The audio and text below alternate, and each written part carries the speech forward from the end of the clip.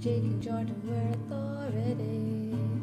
Billy Brisket made his move. All trust was removed. The Iron Horsemen, they were her allies. Sophie Jimmy saved her from the lies. They sent her away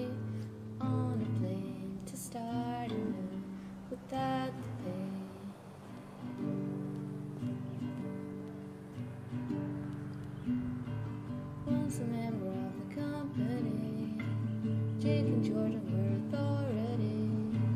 Billy Brisket made his move, nearly killed Jake and trust was removed. The Iron Horsemen, they were her allies.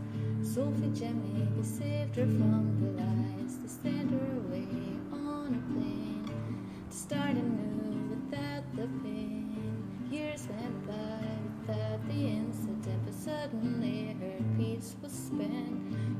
The horsemen recruits they took her hostage with no dispute.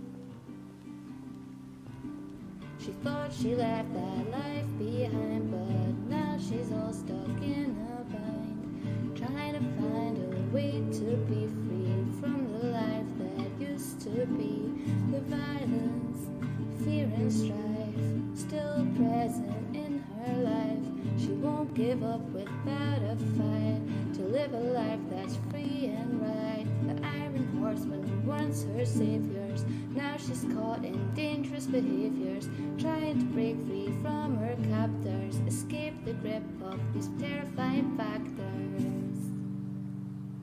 She doesn't know what's going to be, but she'll keep fighting.